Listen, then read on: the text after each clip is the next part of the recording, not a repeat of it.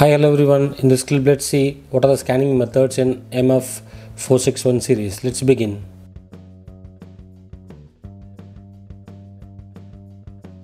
iSENSYS MF461 the scans are uh, many types. So let's try to computer scan. Select the user's uh, PC where you want to scan and select uh, the mode. Is it color or black? So once you keep your paper click start. Automatically the scanning will begin the similar way USB flash scanning. So when you insert the USB flash then select USB memory.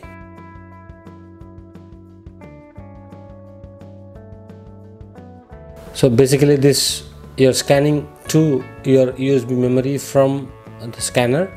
So it's quite straightforward no drivers required. Automatically the scans will come and store in your USB drive. Then the next option is scan to email. For the scan to email you'll have to pre-configure the SMTP and other settings.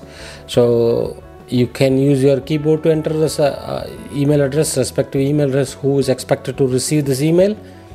But normally backend work to be done.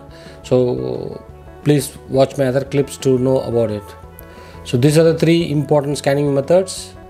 So I hope you like this clip and thanks for watching